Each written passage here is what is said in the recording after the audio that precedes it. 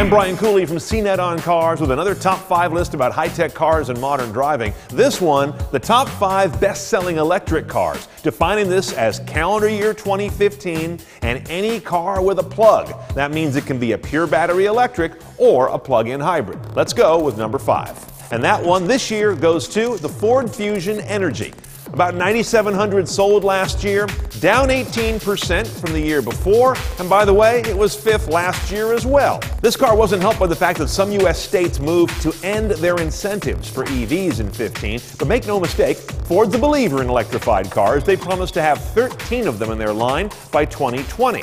What do you think about a plug in hybrid Mustang in case the recent Turbo 4 wasn't enough to blow the purists' minds? Who knows?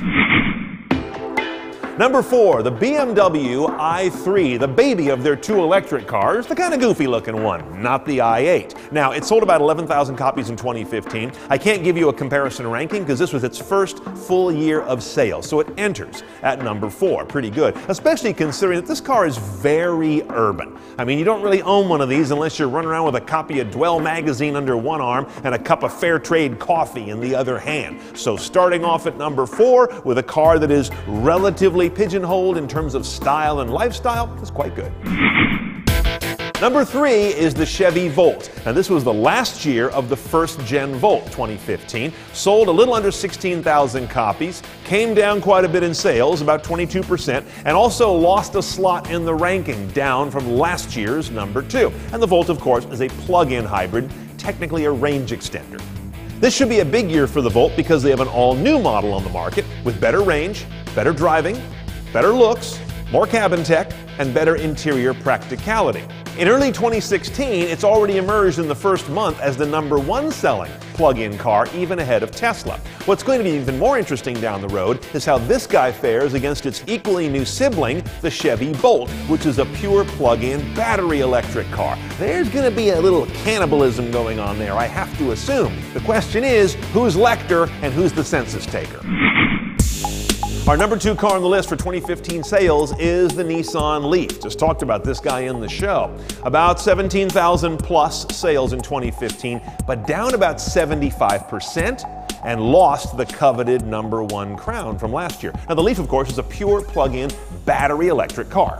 The Leaf fluttered so far to the ground last year over 2014 for a number of reasons. First of all, a lot of states cut their incentives for electric vehicles. Georgia's one of the big ones, for example. That was powering a lot of Leaf buyers. Secondly, a bunch of Leafs came off lease and are back on the market, and Nissan put $5,000 on the hood to many of those current owners saying, we'll incent you to buy the car you've been leasing. But the Leaf sales drop, I think, also focuses the fact that it is seen through kind of one prism as a fuel saving pure electric and doesn't have a lot of other messages, and that's going to hurt it in a time when gas prices are stable and or coming down. Before I get you to our number one selling electric car of 2015, let's go to the other end of the list and look at some real suckage. The EVs that sold the worst, like the Mitsubishi i-MiEV. Yep, they still sell it. But at 115 of them sold in all of 2015, who would know? And the bottom of the bottom, the dead man walking, the Honda Accord plug-in hybrid. Sold 64 of them total in calendar 2015. You know you're in trouble when you're outsold by the rare as hen's teeth Porsche 918.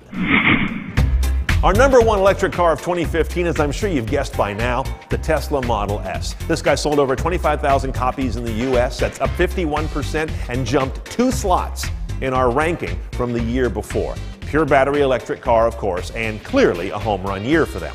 I almost feel bad putting the Model S in this list, to be honest. It is electric, but boy, it's a whole lot more. It's got the longest range in the market, of course, but then it's got this amazing cabin tech. It's got beautiful styling. It pushes the envelope on adaptive driving assist and self driving technology.